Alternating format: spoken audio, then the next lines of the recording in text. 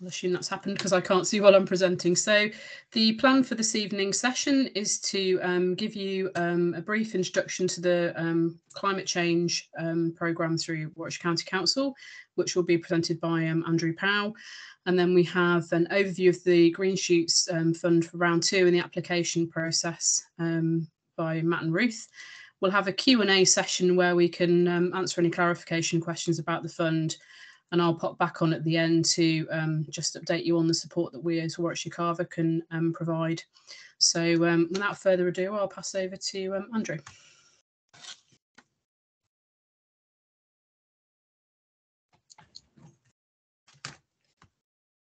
Thank you very much. And I'm just about to get a very brief presentation onto your screens.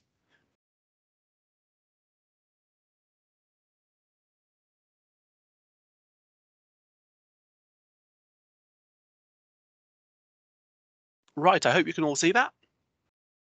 We can, thank you. Excellent, thanks. I just wanted to start off by saying um, how pleased I am as a officer who works for Warwickshire County Council to come and present to you tonight. We're the we are the funder and we're here to talk to you about green shoots, but I'm not going to dwell on that because a colleague is going to come in after me to explain some of the more detail uh, points about green shoots phase two. What I wanted to talk about very quickly was our commitment to sustainable futures and climate change.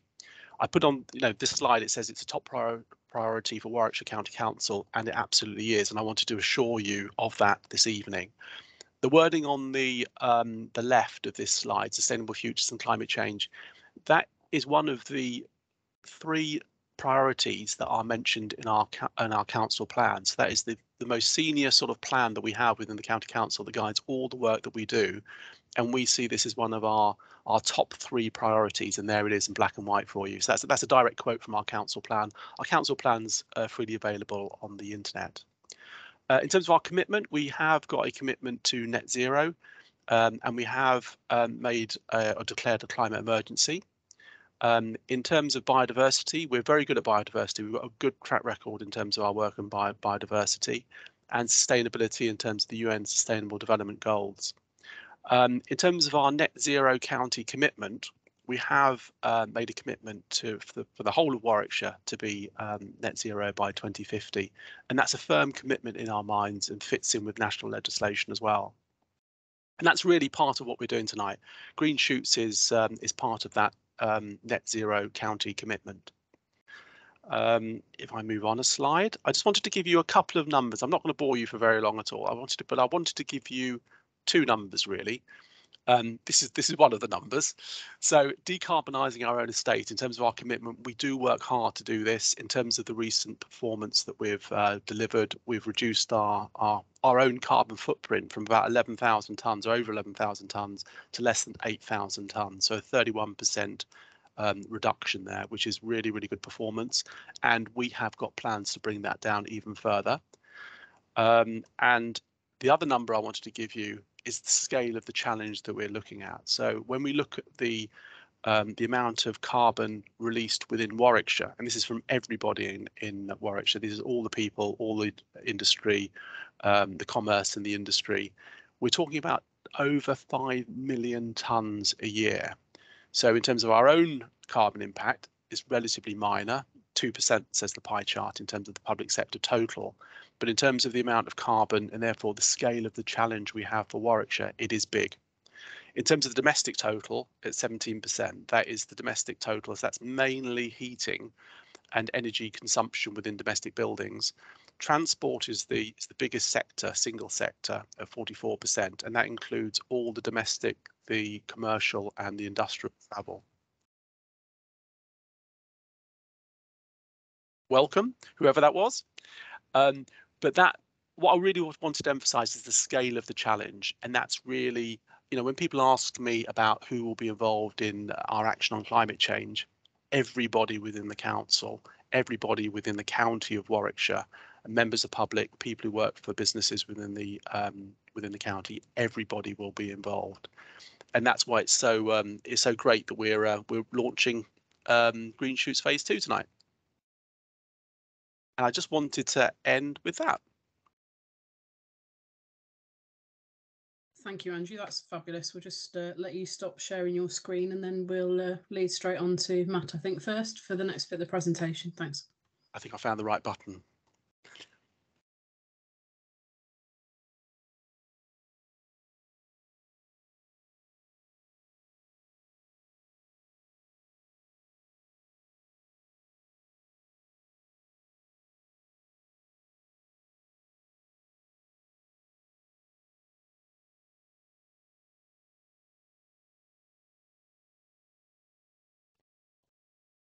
Hi there. Yeah, just finding my my slides to share. So yes, welcome. Um, we're very excited to be able to launch the the phase two scheme. Um, so what I'm going to talk about in this section, first of all, just to rewind a little bit and talk about phase one of the scheme. Then I'll go on to talking about this phase. So why are we doing it? Who's eligible for the scheme? What sort of criteria are we looking at in terms of the assessment? We'll look at the timelines and the deadlines, and then on to how to contact us.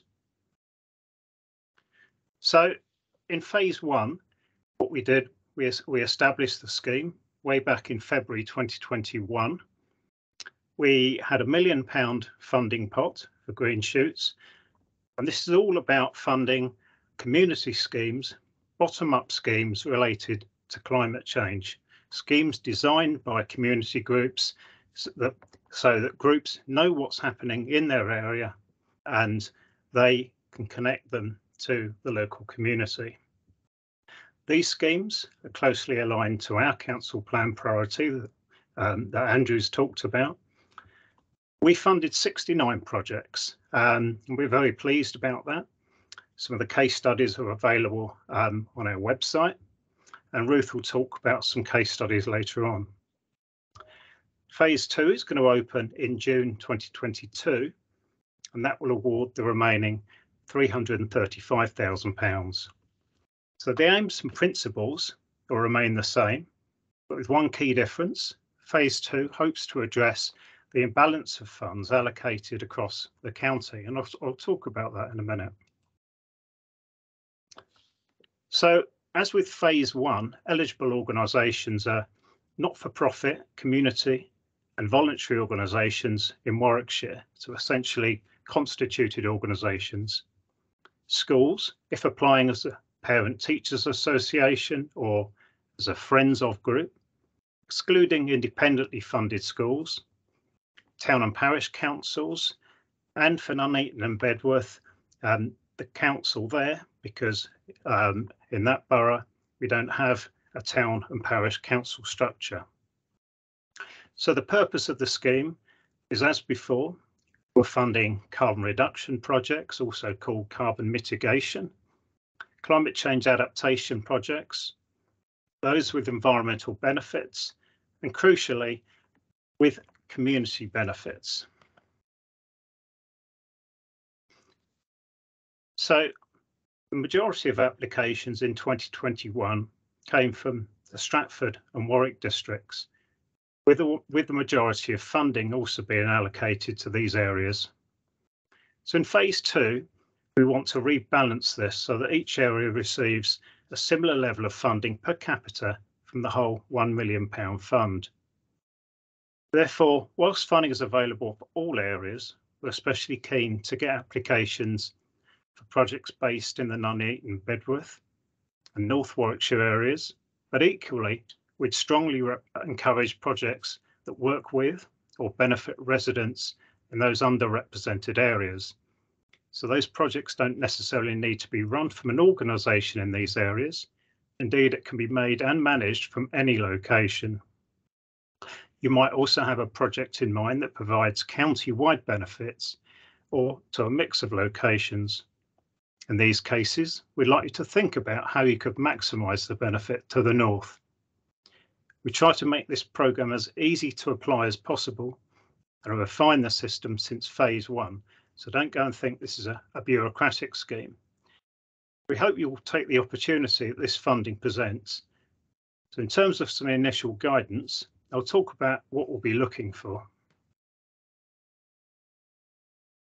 So the phase two criteria In line with the scheme objectives, in simple terms, we're looking for sound deliverable projects that are good for climate change and community benefits that ideally outlast the life of the project.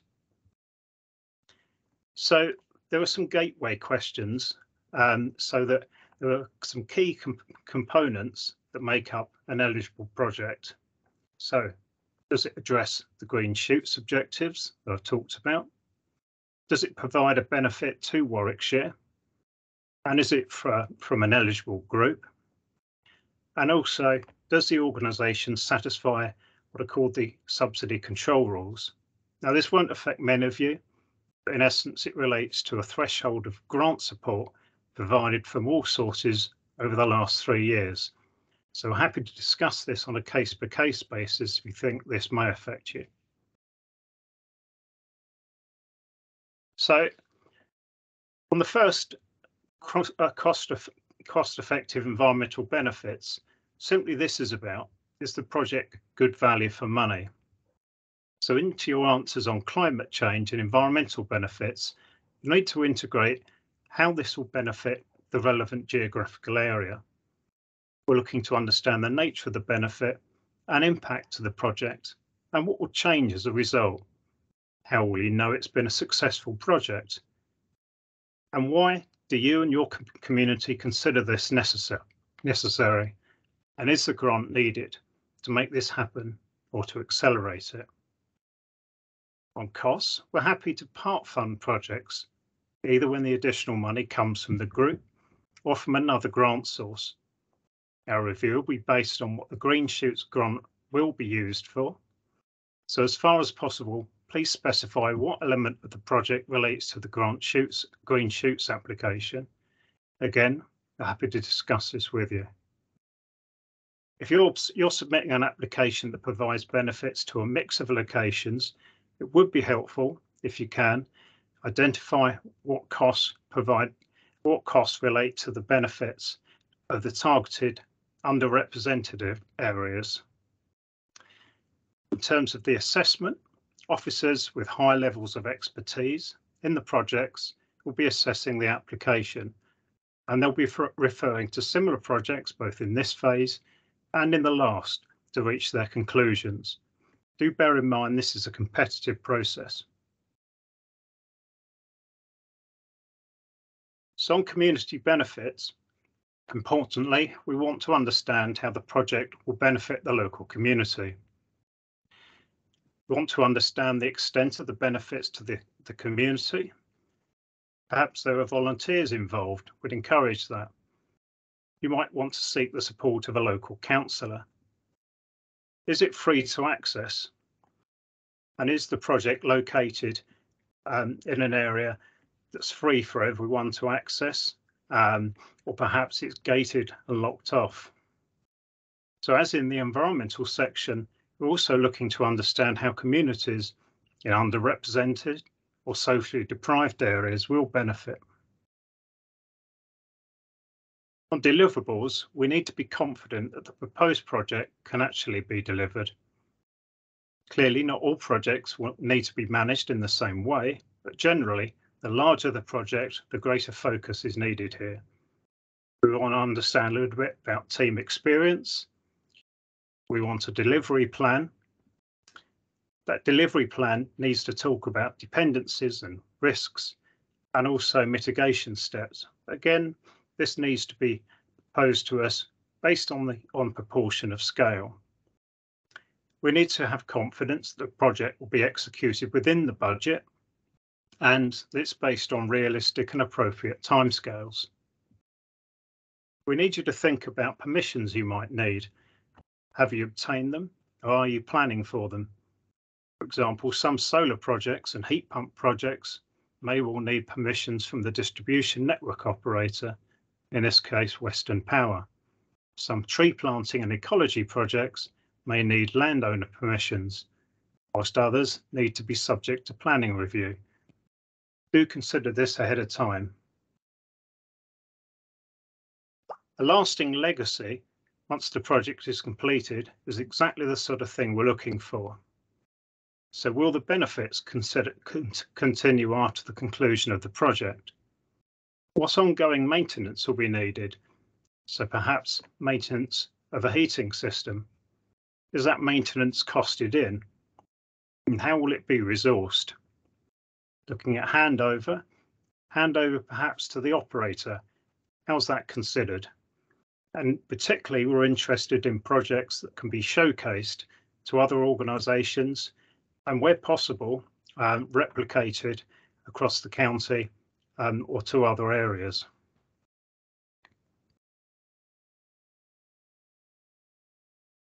We need a plan um, to, to resource um, and, and assess the post-project benefits. So you'll have stated project impacts in the question about environmental and community benefits. We want to understand how, how these can be monitored. We want to be informed on how the project is, is progressing and information on monitoring where this is available can be helpful. So this is not in any way bureaucratic. We want to keep uh, keep up the dialogue with you. We may not be able to help if there we may be able to help if there are problems. At the end of the project, we'd like you to be able to assess if the project has met your original expectations. Here, we will look at your original statement for success measures and compare them against what you what you've achieved. You might have planted 50 trees or installed a 50 kilowatt solar panel or developed an awareness campaign. Post-project evaluation is a little bit different in that you better assess benefits after the project has been operating for a little while. After a year, how many trees are still alive? How much electricity has been generated from that solar panel? You might have carried out a survey to determine awareness levels that you can report on. It's just as important here that you know, it's just important for us that you know we've thought about this and are built in the capacity to do all of this. So the timeline for applications is it opens on the 17th of June, and then we've got a period, um, an application window, so the application closes on the 19th of September. Targeted award date then is the 31st of October, and then you'll need to return your grant offer letters within two weeks, and then you can get started with that particular application. So we, we really want to help you with, with these applications. We're really looking to have high quality applications. Um, so either contact CAVA or us at the addresses here and we can put them in the chat. Thanks very much.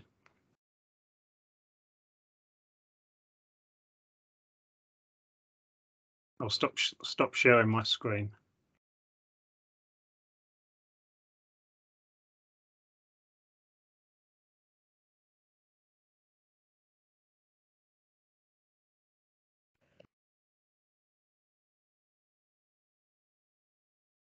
Can everyone hear me okay? I think my mic's playing up now. Seems to be having a nightmare. Okay, brilliant. Uh, thanks very much for that, Matt. I think Ruth's going to take over with some case study examples now. So we'll let Ruth set up her presentation. Um, the chat's open, so I can see Ian's asked a couple of questions already, but if people do have questions about um, specifics, please pop them in the chat and we'll be picking those up shortly.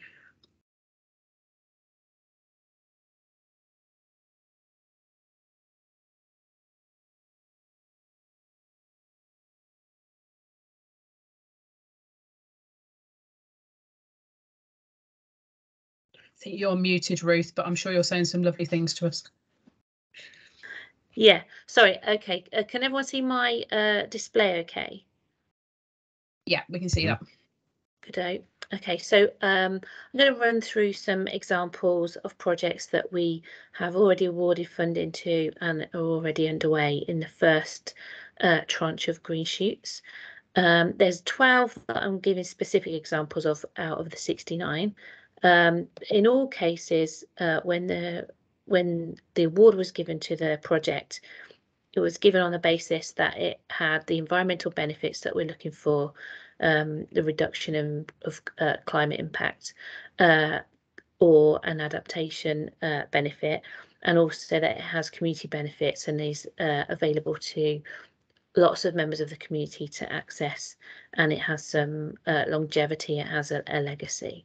Uh, so you'll see as we're going through that all these examples have got similar um, benefits associated with them.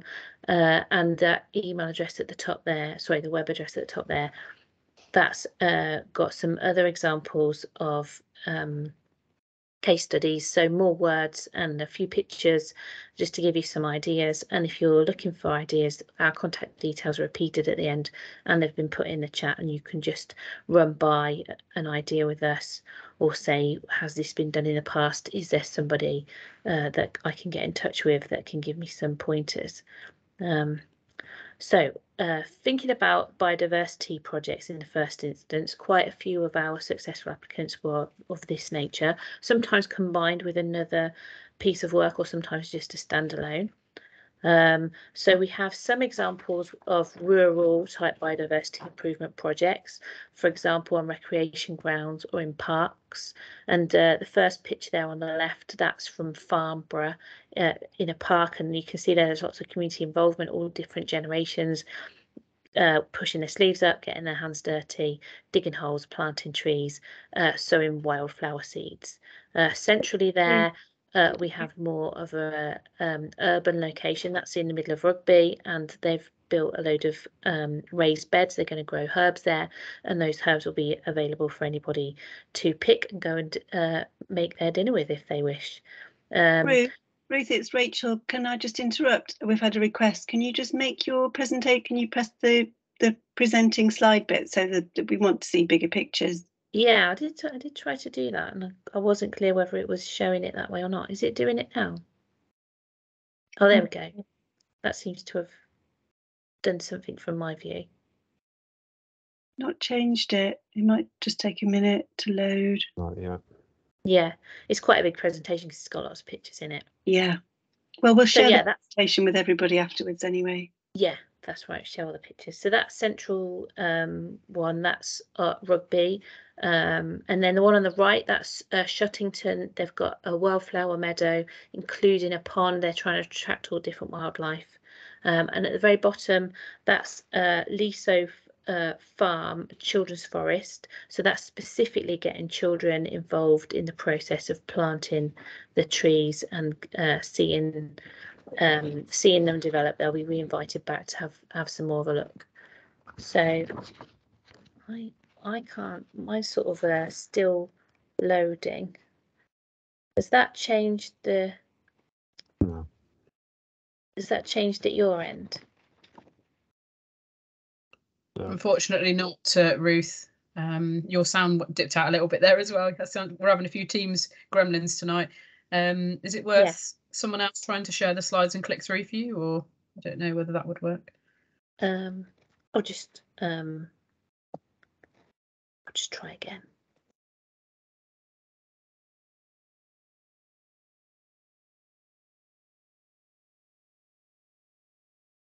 Yeah, I think it's my power my, my PowerPoint. But um anyway, I'll just carry on and have a little chat Sorry to about Yeah, um, I've got your your PDF based version. I can Hmm. share that. if People would like that. yeah, should we try that? Thanks, Matt. Sorry. Okay, one sec.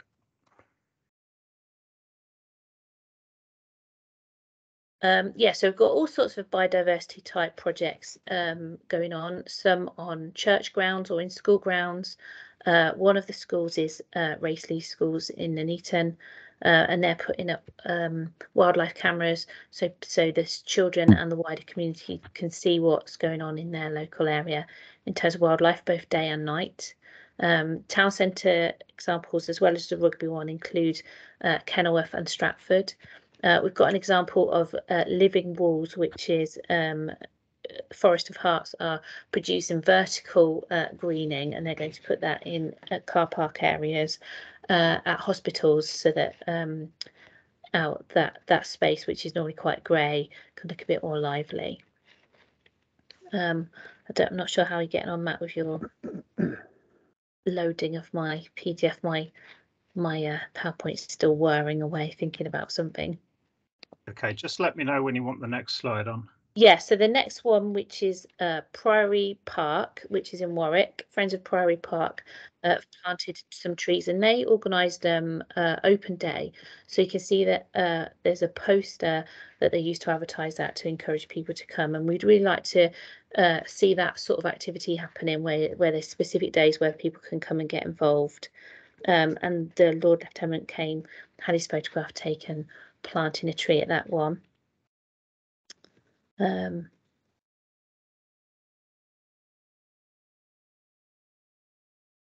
sorry, I can't I can't see it yet, Matt. Have you been able to?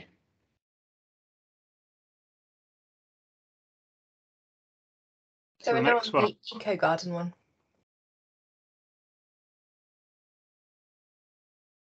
For your reference, Ruth, we're just up to one called Biodiversity and Community, which is about an eco garden and labyrinth. Yeah, We've just seen perfect. Yeah, I can see that one, now. Yeah.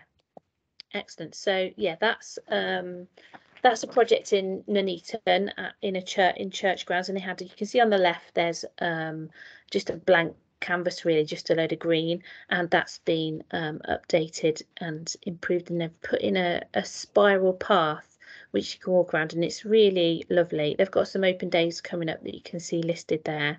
Um, so it'd be really, I'm sure they'd really appreciate it if some uh, some people on this call uh, went and had a look at what they've achieved with a quite modest amount of funding. Uh, yes, so moving up please, on, please, Matt. Um, so here's an example of a renewable energy project. So we had a few solar panel successful bids. Um, so on schools, community centres and churches. This is an example of a church called St George's in Rugby. And you can see they've got quite a big array there. Uh, they were funded uh, almost to the maximum amount of funding, but they, I believe they've done the majority of that within that funding. As Matt was saying earlier, we can add, you can add funding either from your own uh, fundraising or from another funding pot to to uh, uh, contribute to a bigger project if that's what you'd like to do. Uh, thank you, Matt. We had a few different uh, energy type projects. So um, taking on a, a fabric first approach, trying to improve community buildings and make them more insulated in order that uh, any heating that is put into them is the most efficient. And obviously that's even more important now all of our bills are increasing as well. So some community centres have had loft insulation new windows um, improved heating systems uh, and then thinking about the lighting on the left hand side there's a couple of parishes that have had uh, their street lights upgraded to LED and some other efficient lighting systems including some uh, LED floodlights at a football pitch in rugby. Um, moving on, please, Matt. Uh, we've got various uh, green transport type activities. So some organisations have put in bike racks or built a cycling path. Uh, we've got a number of um, electric vehicle charging points that have gone in in village halls uh, and also at Myton Hospice. So this particular example on the left there is Wolston, and um, we've also got um, Cycle Buddies, which is a new project uh, focused mostly around Warwick, but they're looking to expand into other areas of Warwickshire. Uh, and what happens is uh, you're an experienced cyclist and you're willing to give some of your time helping a novice uh, cyclist get used to riding on the road, looking after their bicycle, and all the other things that are involved in being a regular cycle commuter or uh, cycling for pleasure. Um, so that's a really good scheme, and they're actively looking to expand into other parts of Warwickshire. So if you think you could join in with that and give them a helping hand, that would be marvellous, and we can get you in touch with them. Thank you, Matt. Next one. Um, so uh, close to my heart, I work in waste. This is about waste reduction. So uh, Kenilworth Repair Cafe had um, some funding to set up and make make a start on their project. Uh, different tools, different promotional paraphernalia that they needed um, in order to be able to run their repair cafe, and that's now successfully going every month.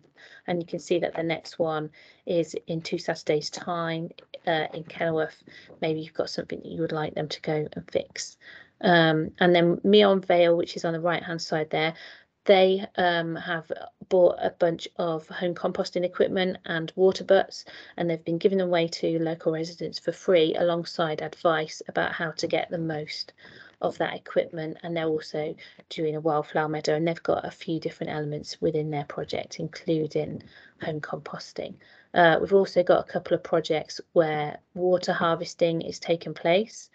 Um, and then we've got some other projects which in which are more about um, training and awareness raising. So there's uh, one organisation's developed a newsletter that they send around to all of their uh, local people that live nearby, uh, and there's a school climate change day as well. And we're also keen for there to be projects around adaptation, so adapting to the changing climate and uh, working towards uh, living more easily in hotter, drier summers and uh, milder but wetter winters. Uh, thank you, Matt. So that's uh, just a repeat of our previous page, which was about our um, contact details. Um, and I, I, believe that that's been put in the chat as well, but maybe we'll just leave that on while we're having a Q&A session. So Tracy, I think you can access the questions more readily now. So I can. I can. Thank started. you very much nice to see some um, some projects um, in real life actually after round one and thanks also for Matt for your overview of the fund. Sorry we had a few technical difficulties there. It wouldn't be a good virtual session without a few gremlins. So uh, we're all used to that after COVID, aren't we? And the way we are now. So way this will work is I'll run through the questions that have been um, logged in the chat. Um, and then it looks like we'll have a little bit of time to open the floor for questions as well. At the top of your screen or the bottom, you should see a raise hand function after we've run through the questions, I'll open it up. If you can raise your hand, I'll come in order and then we're not overwhelming our lovely panel with too many questions all in one go. So I'll start off with the first question in the chat, if that's okay. So the first question is from Ian to say, last year the majority of funding went to Stratford and Warwick areas. This year you're prioritising the Nuneaton and North Warwickshire. What about Rugby?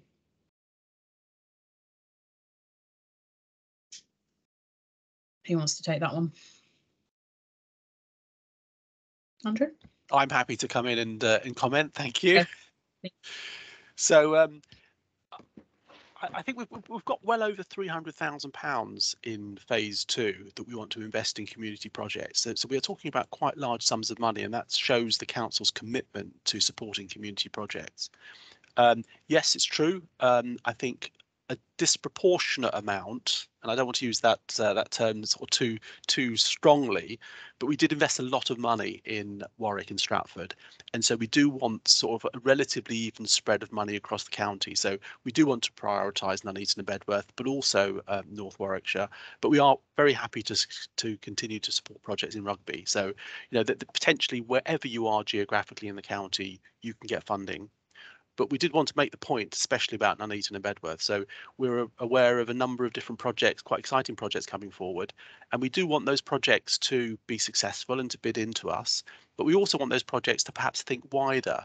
So not only about their absolute local locality, if you like, especially if they're in Stratford and Warwick, but how those projects could benefit the people of Nuneaton and Bedworth or North North Warwickshire, perhaps, because those are our, our more priority areas. I hope that sort of like gives an indication in terms of what we're thinking. Thank you, Andrew. And there were there were some projects funded in Rugby for round one, weren't there? I think from Matt's initial presentation. So it's not that there hasn't been any investment in that patch. It's looking at proportionate allocation of funds, I think. So the next question is um, also from Ian to say um, they've identified their project, but are having difficulty identifying contractors who can do the work and give quotations. Are you able to identify contractors?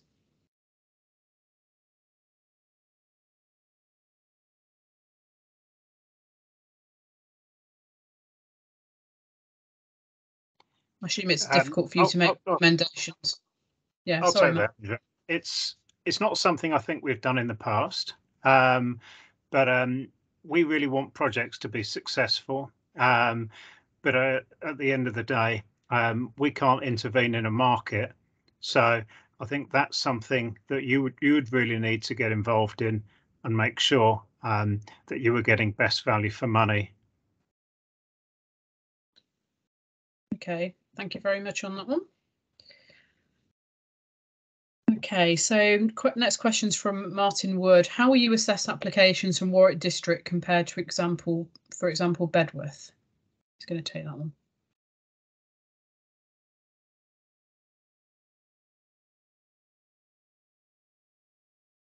Yeah, there's- Everyone's a quiet s- on me. so- I don't know whether people's buttons or computers aren't working as fast as they should be. I was expecting Matt to jump forward on that one, but uh, I, I think we would um, judge e- all the projects fairly and evenly across the criteria that we've we've sort of like talked about tonight. Matt's talked about the criteria we're going to use. So we are we are particularly interested in, in you know in in projects that do action climate change and the sustainability agenda. Um, so we want projects that actually have a have a, an effect and also a lasting effect. So legacy is one of the things that we've actually like pushed tonight. We want projects to have a community benefit and a legacy community benefit as well. Um, I think I think what we're saying is is that you know we, we've we've invested quite a lot of money in in Warwick and Stratford, so we're, we're less keen to invest more money in those areas. But if there are strong projects that come forward, we will look to fund them absolutely. Um, but you know, I'm- I think I made the point earlier today that you know um, there are some strong projects. We already have funded quite a few strong projects, and we are looking for people to think perhaps about how they can make their their project more attractive to us by thinking about how they can help their neighbours in Nuneaton and Bedworth. Um, so that, you know, I think we've made that point a number of times already tonight. Okay, lovely. Thank you, Andrew.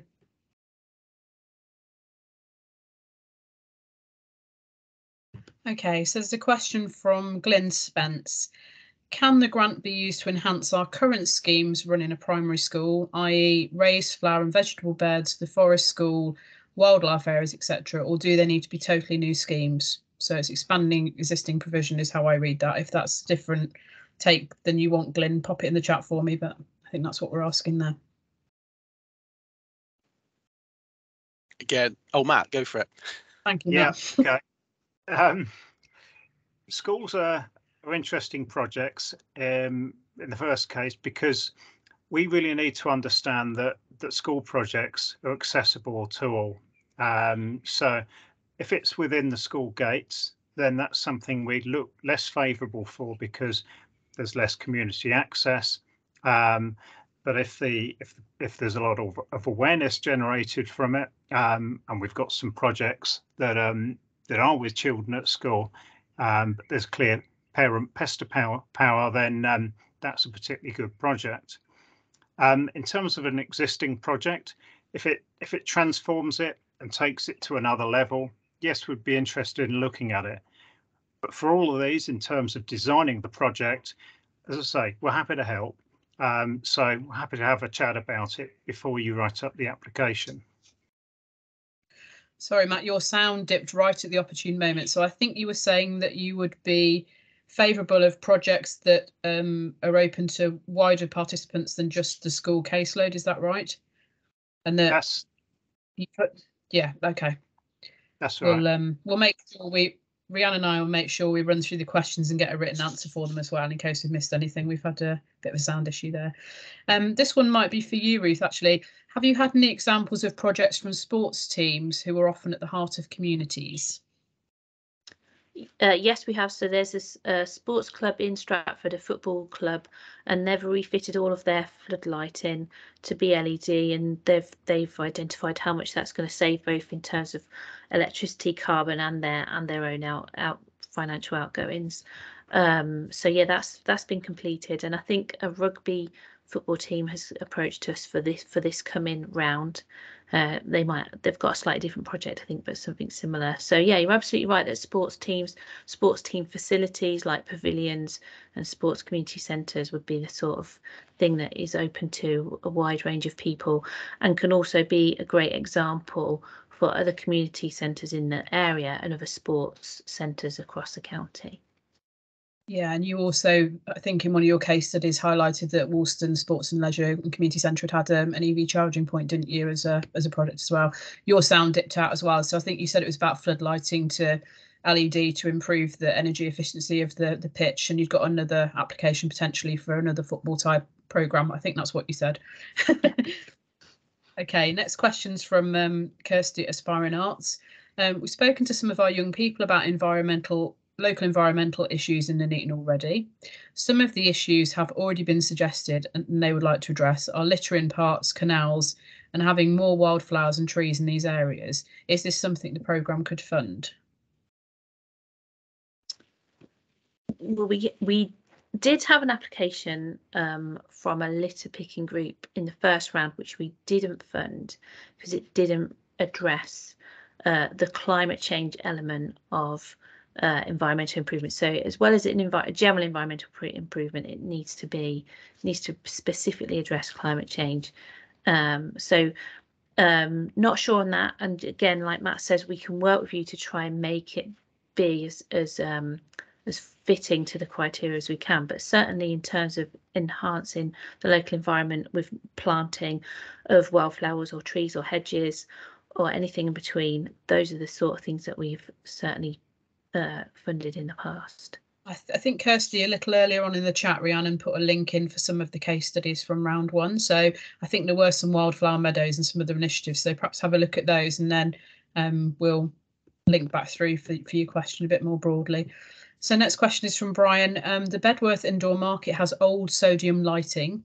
Could these be replaced with LED? And it also has a large roof space. Could they apply for solar panels? Yeah, I'm happy to take that one. Um, certainly, I mean that's that's really ripe for a project. Um, it's a, um, a great cost-effective scheme to replace sodium lighting, um, and um, and solar panels. We've done a number of solar panel schemes in the first phase. Ruth showed you an example, and we certainly welcome some in this phase too. Thank you. That's great. I guess what we're looking for is we were looking for community-based projects. So the Bedworth Indoor Market facility would be owned by the Borough Council, I assume, and they've probably got plans to upgrade their facilities as part of their wider work towards climate change. So something similar to that, but more based in a community building. Okay, next question is from Nikki. Um, she's highlighted that the criteria states that it excludes independently funded schools. Will schools that are part of a multi-academy trust be eligible for support? I think what we're referring to there is uh, non-state funded schools. Um, so this for any state funded school, however they get their funding, then uh, the, the the potential eligibility is there. What you need to make sure is that your project has got wider community accessibility than just the the children and the the the occasional school visitors. Okay, thank you. Next question is from um, Angie, uh, they were awarded a small grant in phase one of the fund. They've identified further developments they'd like to make as a second programme. Can they reapply in phase two?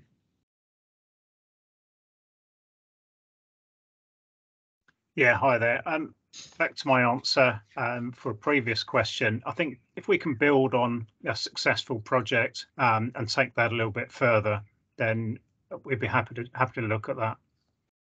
Thank you. Um, and final, oh, there's a few more questions. Uh, next one is from um, Marion Humphreys. Um, I have a project that has had some councillor grant money, which was not enough. They're going to apply for a Green Shoots programme uh, for a bowls club in the village. Um, well supported, they're finding getting people to complete the works is a problem. So there's a similar question there about contractors. So that might be a, a challenge that needs a bit of consideration. Who wants to take that one? I'm happy to to jump in and say that you know we sympathise with the marketplace at the moment, or people trying to buy in the marketplace at the moment. Every project I'm I appear to be involved in in terms of getting work done seems to take far longer and be more expensive than we actually anticipated, and you know we recognise this we we would like to be able to help, but I think we are limited in terms of the amount of assistance we can get. So I think projects should find their own supplier, which quite often actually looking at the the projects we're funded in round one are actually local suppliers that that may or well well already be known to the um, the project partners, if you like. So I think we would like to help, but I think there's very limited uh, scope for us to do that. Okay. One of the reasons why we've put in a big uh, funding window and we've talked, we've started talking to potential um, applicants even before that funding window opens, is to give you plenty of time to hunt around for potent, potential suppliers. So hopefully uh, you've got uh, something like 14 weeks before the deadline, that should be enough time for you to uh, find somebody who can quote for you. Okay, we've got a similar question to one we've answered, so I think we may not need to answer this again, but um, another applicant was awarded less funding than they asked for in phase one, so several of their aims could not be achieved. Um, what are the realistic chances of topping up our original funding if we were to identify clearly which objectives we were to prioritise in phase two? I think you've already covered that Matt that you would want to see the benefit of the additional funding and what it's going to achieve over the, the, the round one application. Obviously, it's a competitive fund based on the, the money available and the areas to apply for. Is that a fair view or anything you want to add to that?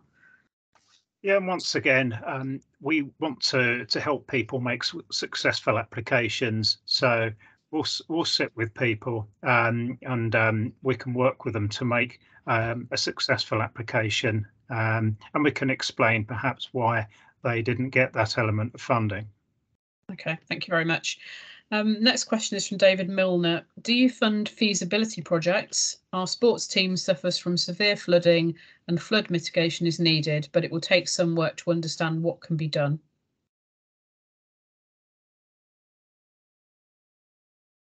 Um, on feasibility studies, no. Um, so what we want is project a project that delivers um, sort of tangible outcomes. Um, so we'd ask that that work's undertaken um, so that you know what you want to do. Um, but um, we do appreciate that feasibility studies do need to be done in some cases. I don't know if you can have that feasibility study done and completed um, before the application window closes. if you can, then I think uh, that might be useful. Yeah, I think as well, David, if you want to link up um, with me via my email, I'll see if we can link you up with any funds that we're aware of for feasibility studies separately. And um, we can help with that perhaps.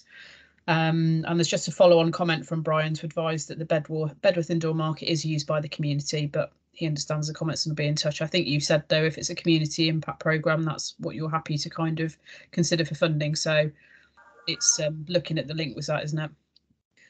Think that's it for all of the questions in the chat. I haven't seen any hands raised. Um, Marion, I noted you raised your hand, but I'm not sure if you've noted your question in the chat. Did you have a question you wanted to ask? No problem. It was answered in the chat. Thank you. Lovely. Thank you. Okay, right. I'm going to, if I could ask um, you to stop sharing, Matt, I'm just going to flick my um, slides back on again.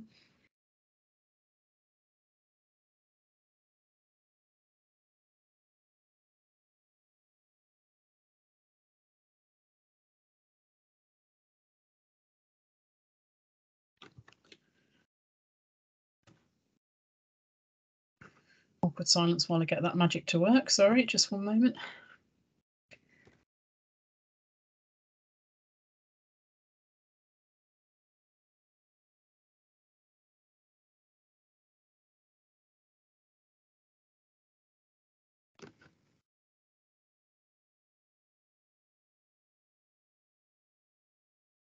my apologies while I'm just trying to get these slides to work. So um, just wanted to advise you of the support that um, we as Warwickshire Community and Voluntary Action can provide to um, participants.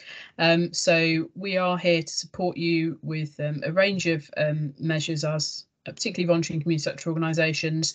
So if you need support um, in terms of um, reading through applications, helping to make sure you've got relevant policies and procedures, insurances, etc. in place, that you have got you know you're clear on the questions. If you're having technical issues and you you want a bit of support to understand that before you raise a question with the green shoots team for example we can help you with those um, those areas um, the other thing um, that I've put on the slides is some local contacts because um, our team delivers. I'm going to give up on my slides. Our team delivers across um, across Warwickshire, so there are local teams in each patch. So um, what I'll do is when I send the slides out, I'll share those two with you so that you can see the support that we can provide. Um, from my perspective, I think that brings us nicely to the end of the session. We're five minutes early, so we can all go off for a well-deserved cup of tea. Thank you very much, everyone, for coming along. Um, if you do have questions that you um, wanted to ask but haven't, um, feel free to drop an email to the Green Shoots email address or myself, and we'll we'll get back to you. Um, and all being well, we should be in a position to share the um, resources um, link, the well, the link to the filmed resource and the slides, etc., before the end of the week. Um, and Dan Whiteman has popped in the chat. He's happy to support any projects around tree planting and his details. So I think we can lift the the chat comments out to to share those details if you're happy with that, Dan. But thanks ever so much, everyone. Enjoy the rest of your evening and good luck with all of your uh, project applications for phase two. Take care. Thanks, Tracy. Thanks. Thank, Thank you very you. much. Thanks, Tracy. No worries. Thanks, Tracy. No worries, everyone. Take care. Thank you very Thank you. Much. Goodbye. Thank you very much indeed. Uh, No worries. uh,